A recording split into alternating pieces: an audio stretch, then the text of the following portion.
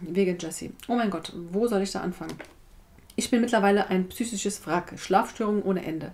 Zum Beispiel schlafen jetzt meine drei Männer und mein Gehirn geht, je, also sie hat Mann und zwei Kinder, äh, geht jeden Fehler der letzten 30 Jahre durch.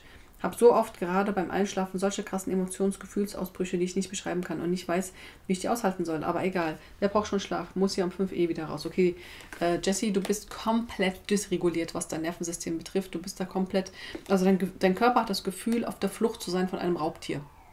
Das ist, kannst du dir richtig so vorstellen.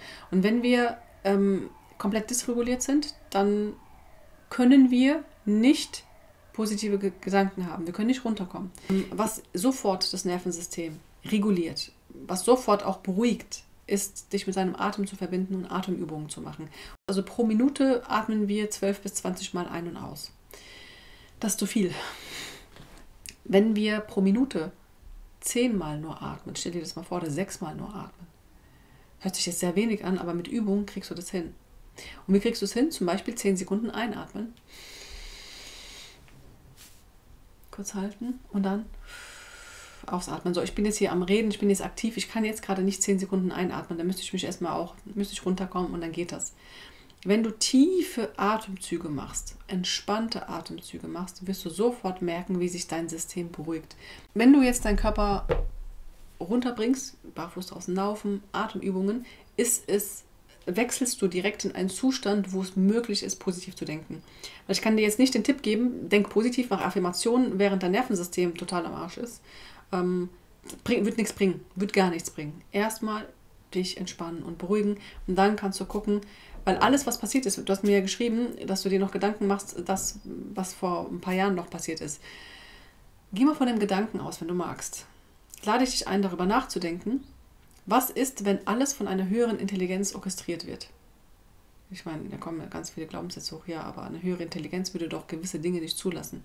Stell dir mal vor, Gott, eine höhere Intelligenz, die dich sehr liebt, hat alles genau so gemacht, dass du dahin kommst, wo du gerade bist, um persönlich weiterzuwachsen, um zum nächsten Level zu kommen.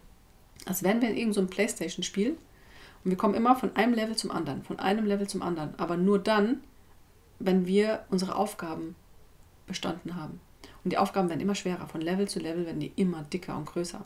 Wenn du aber einmal verstanden hast, wie das Spiel geht, dann ist es leichter, weil du weißt, ah, jetzt ist da ähm, die größte Herausforderung ist jetzt gerade mit meinen Gedanken klarzukommen, weil ich das, was vor zehn oder fünf Jahren mal passiert ist, gerade hinterfrage. Das ist wieder dieses Kopf, was ich, ähm, glaube ich, im vorigen ähm, Video gesagt habe. Tiere sind ja nicht im Kopf, deswegen leiden sie nicht, deswegen haben die auch keine Depressionen, die in der Wildnis wir sind ständig in der, im Kopf. Etwas, was damals passiert ist, macht dich heute fertig, aber es ist doch schon passiert. Alles, was in der Vergangenheit passiert ist, können wir nicht mehr verändern. Hättest du es verändern können, hättest du es getan. Aber du wusstest es nicht besser. Es macht dich nicht zu einem schlechteren Menschen. Die Jessie vor fünf Jahren, als sie das entschieden hat zu tun, was sie getan hat, kannst du sie wertschätzen, kannst du sie lieben. Wir können nur das verändern, was wir akzeptieren. Wenn wir unsere Geschichte akzeptieren, was passiert ist, können wir uns erst verändern. Und wir können uns auch erst dann nur lieben. Weil die Jessie vor fünf Jahren hat vielleicht eine dumme Entscheidung getroffen, das hört sich jetzt blöd an, ja, die ihr ganz viel gekostet hat bis jetzt. Aber in Wirklichkeit war die Entscheidung gar nicht dumm. In Wirklichkeit war das ihr Bewusstsein, der sie nur auf etwas aufmerksam machen wollte. Klar hat es jetzt, äh, vielleicht hast du den falschen Mann ausgesucht und jetzt hast du mit ihm zwei Kinder und du ärgerst dich. Es ist nicht der falsche Mann. Es ist dein Seelenpartner, der zu dir gekommen ist, um dich auf etwas aufmerksam zu machen, was du heilen kannst. Bedeutet nicht, dass ihr für immer zusammenbleiben müsst. Die Kinder sind auch nicht entstanden, weil du einen Fehler gemacht hast, sondern weil die Seelen schon vorher mit dir abgesprochen haben, zu dir zu kommen, um daraus zu lernen. Sie wollen, sie lernen gerade ganz wertvolle Lektionen mit dir. Also jeden Schritt, den du jetzt hier machst, ist sehr, sehr wertvoll. Sehr wertvoll.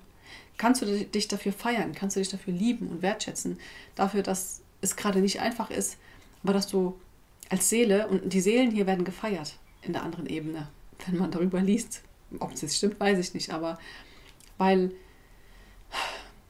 das, was wir hier auf der Erde erleben, nicht gerade einfach ist. Es ist nicht gerade einfach. Und jede Seele wird gefeiert dafür, dass sie sich getraut hat, einen Körper auszuleihen und das durchzumachen, was wir hier durchmachen. Es sind oft Dinge, die wirklich einfach nur sehr zermürbend sein können. Ich weiß es. Es ist nicht so, dass ich dich jetzt verurteile und sage, oh, warum denkst du an die Sachen vor fünf Jahren? Ich kann es ja verstehen. Aber unser Kopf, das ist nur der Kopf. Kannst du in den Moment hierher kommen? Kannst du überlegen, was möchtest du verändern? Was, was gefällt dir nicht? Würdest du gerne von dem Mann weg? Möchtest du gerne umziehen? Einen neuen Job? Was auch immer. Und dann gucken, dass du ins Manifestieren gehst von dem, was du haben willst, um rauszukommen aus der Situation, wo du bist. Und es ist alles möglich. Es ist alles möglich. Wenn du dieser Möglichkeit Raum gibst in deinem Kopf und dich nicht festhältst an den Sachen von damals.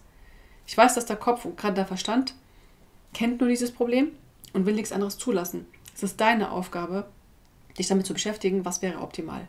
Was wäre optimal? Dazu hatte ich auch eine Sprachmemo gemacht auf Telegram. Ich habe eine Telegram-Gruppe, wo ich regelmäßig Sprachmemos reinmache zu allgemeinen Themen, die, die ich auch hier bespreche. Und da geht es auch darum, und dann gebe ich nochmal eine genaue Anleitung, wie man da manifestieren kann, um aus der Situation rauszukommen, in der man drin ist. Vielen Dank für deine Zeit und bis zum nächsten Mal.